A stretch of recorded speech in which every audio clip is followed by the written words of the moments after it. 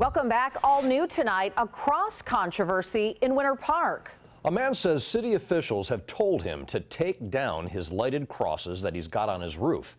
Fox 35's Lara Greenberg went out there to check it out.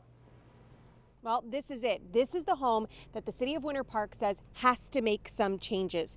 The city says the biggest issue are these crosses lit up on the roof here. The city sent Jeff Walker a certified letter in January saying the crosses and an additional flagpole on his property require permits to comply with zoning and lighting codes.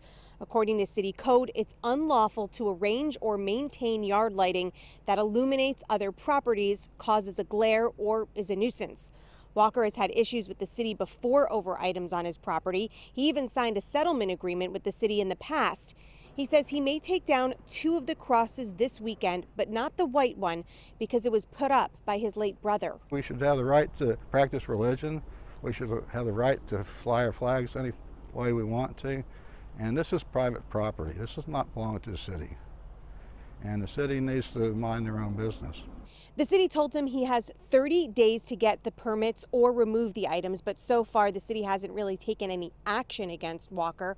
Walker says he does plan to fight this and even take it to court if he needs to.